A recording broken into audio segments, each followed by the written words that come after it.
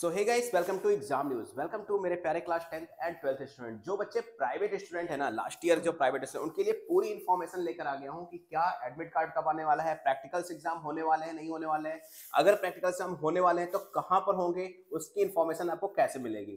तो make sure जितने भी मेरे पुराने व्यूवर्स हैं, जिनके प्रैक्टिकल जिनका जो प्राइवेट स्टूडेंट्स हो गए उनके लिए बहुत ही अच्छी अपडेट आई है। कि प्रैक्टिकल स्टूडेंट अच्छा ये सारी की सारी ऑफिशियल अपडेट है, मैं आपको पहले क्लियर कर दूँ।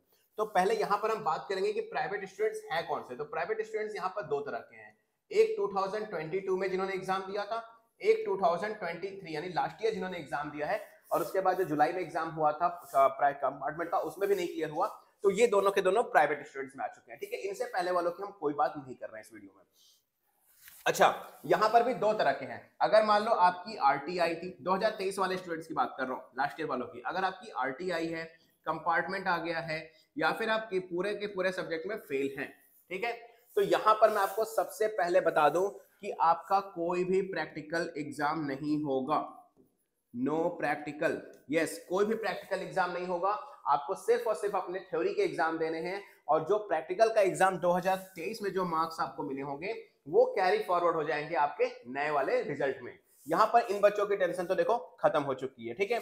लेकिन हाँ जो बच्चे यहाँ पर पूरी तरह से फेल थे, यानी पूरे के पूरे पाँच सब्जेक्ट में फेल थे। यस पूरे के पूरे पाँच सब्जेक्ट यानी टेंथ में भी फेल है और ट्वेल्थ में जो है, वो ट्वेल्थ में फेल है।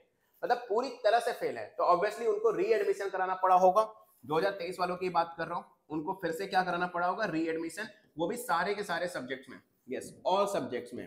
तो ऐसे बच्चे जिन्होंने री एडमिशन लिया है, सारे सब्जेक्ट्स का, इनके लिए प्रैक्टिकल होंगे। इनके प्रैक्टिकल होंगे और ये प्रैक्टिकल ऑब्वियसली उनके हो भी चुके होंगे, स्कूल में होंगे, क्योंकि वो रेगुलर क्लासेस ले रहे हैं, अगली क्लास सेम क्लासेस की तो इनके प्रैक्टिकल तो हो चुके होंगे। लेकिन जिन बच्चों की कंपार्टमेंट है आरटी है, उनका कोई भी प्रैक्टिकल का क्राइटेरिया नहीं है प्रैक्टिकल के मार्क्स कैरी फॉरवर्ड हो जाएँगे पिछले वाले। अब आ जाती है बात 2022 वाले स्टूडेंट्स के लिए, ठीक है? तो जो स्टूडेंट्स 2022 में अपना टेंथ या ट्वेल्थ का एग्ज़ाम दिए होंगे, उनका मेन क्राइटेरिया ये है कि उनके प्रैक्टिकल्स होंगे। जी हाँ इनके प्रैक्टिकल एग्ज़ाम होंगे। लेकिन इन प्रैक्टिकल एग्ज़ाम का उनके स्कूल से या ऑनलाइन से कोई मतलब नहीं है। इनको वेट करना पड़ेगा अपने एडमिट कार्ड का। यस yes, इनका वेट कितना करना पड़ेगा? अपने एडमिट कार्ड का। इनका एडमिट कार्ड सबसे पहली बात तो आएगा कहाँ पे? किसी स्कूल में सॉरी किसी स्कूल में नहीं आएगा ना ही इनके घर पर आएगा ना ही ऑनलाइन आएगा। सिर्फ़ और सिर्फ़ ऑफिशियल पोर्टल पर आएगा यानी ऑनलाइन ही आएगा लेकिन मेल वगैरह के थ्रू नहीं आएगा। सिर्फ़ और सिर्फ़ सीबीएसई e के ऑफिशियल पोर्टल पे आएगा, अपना पुराना वाला रोल नंबर आप डालोगे, आपका एडमिट कार्ड निकल कर आ जाएगा, ठीक है? ये हो गई बात इनके एडमिट कार्ड की। और एडमिट कार्ड से आपको पता चलेगा कि आपका सेंटर कहाँ गया हुआ है, यानी किस स्कूल में जाकर आपको एग्ज़ाम देना है। और इसी स्कूल के जो प्रिंसिपल होंगे यस या प्रिंसिपल कह लो, या इसी स्कूल के ऑफ़िस में आप जाकर पता कर पाओगे कि आपका प्रैक्टिकल एग्ज़ाम कब होगा और कहाँ होगा। 99 परसेंट केसेस में तो सेम स्कूल में जहाँ पर सेंटर जाता है, वहीं पर प्रैक्टिकल एग्ज़ाम हो जाते हैं आपके। लेकिन यहाँ पर आपको पता करना एक बार ज़रूरी होता है, कभी बार कुछ चेंजेस भी होते हैं।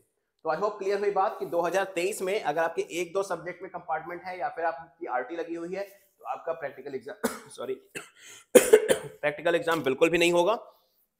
लेकिन आप पूरा का पूरा सब्जेक्ट में फेल हैं और आपने रिपीट किया है पूरी क्लास तो आपका प्रैक्टिकल एग्ज़ाम होगा और आई होप वो हो भी चुका होगा। लेकिन अगर 2022 में अगर आप हैं तो आपका प्रैक्टिकल एग्ज़ाम होना कंपलसरी है उन सब्जेक्ट्स का जिन सब्जेक्ट्स में कंपार्टमेंट थे जिसमें आप फेल थे, ठीक है? और वो होगा आपके एडमिट कार्ड आने के बाद पता चलेगा और कि जिस स्कूल में सेंटर किया है,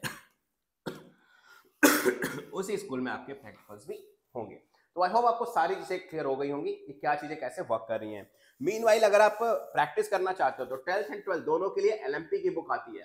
आपके कंपार्टमेंट के स्टूडेंट्स हो प्राइवेट हो या रेगुलर स्टूडेंट्स हो, आप पूरी तरह से एलएमपी पे जा सकते हो। ओसवाल की तरफ़ से आती है रिविजन नोट्स मिल जाती है माइंड मैप मिल जाता है कॉन्सेप्ट वीडियो मिल जाता है और प्लस मोस्ट एक्सपेक्टेड क्वेश्चन भी आपको यहाँ पर देखने को मिल जाते हैं।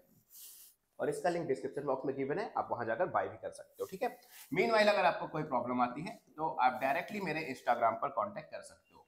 मेरा इंस्टाग्राम अकाउंट है S U R Y A zero three one five यहाँ जाकर मुझे फॉलो करना, कोई भी प्रॉब्लम हो तो मुझे डायरेक्टली मैसेज कर लेना डीएम कर लेना, ठीक है?